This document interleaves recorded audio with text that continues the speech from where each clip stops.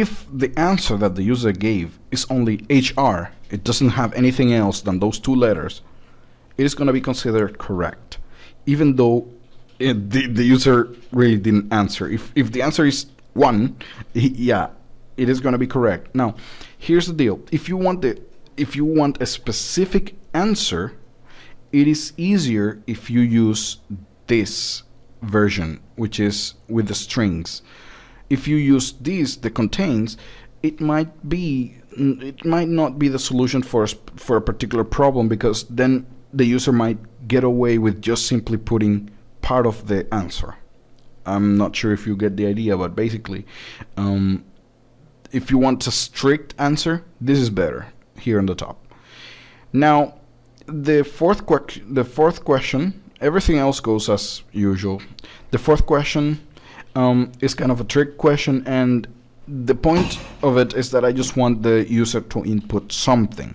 You can input a name, you can input a number, and that is actually again the problem with um, you have to really think about how you want your if and else statements to work. In this case, the, um, the question is a little bit tricky. Um, the person, the user, just simply have to input his own name. What's the name of the driver in this particular question? Um, the driver in this particular question is referring to the user itself, himself. So he just simply have to put his name. Now, the way that I'm doing here is that I just check if that variable is empty or not remember that the if is going to return false only if a variable is equal zero or if equal or if the variable is empty completely empty empty now if you put a name if you put a number if you put anything on that variable it is going to return true now sometimes that might not be a good solution because in this case if you put a dot in that you know as as your name it is going to return correct because the variable is set. So I just wanted to illustrate that it is very important that you think about your logic. You have to have a very good logic on how you want your if and else statements to work because if not, it can happen that the users can bypass um, some settings on your program or um, there there might be some situations that you did not think about when you created the program that it can just be solved by you thinking correctly when you're creating your if and else statements. So um, at the end we have a question number five. Um, and as you can see, I'm just checking if answers equals to apples. Now, this particular line in here, what it wants, uh, what I want to show is that as I'm not using parentheses here, this particular part after the equal sign is treated as a string, so you do not need the quotation marks. If you put quotation marks there, you're gonna have problems. So basically make sure that you are aware of if you are inside an expression or not, because only inside expressions you need the quotation marks. So now that we did all the questions and now that we set the correct to whatever it was, how many times the user made correct answers, now it's time to do something with those numbers. So um, at the end, this particular part of the code does not depend on any of the if, if and else statements above. This is going to run all the time at the end. And what it does is that it assigns um, using the colon equals operand correct times 20. So whatever correct is, which is how many times he made a correct answer, which can be 5, it can be 3, 2, whatever number it is, it's going to multiply it by 20 and it's going to store the result on the variable called store.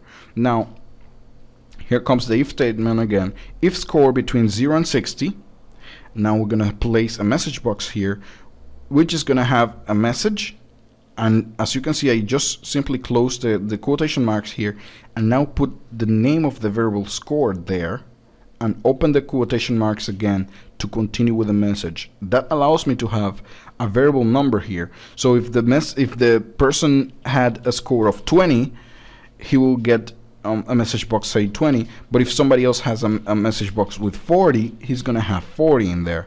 So um, this allows me to have a very personalized message box and then I go ahead and check if score equals 80 then I have a different message box here.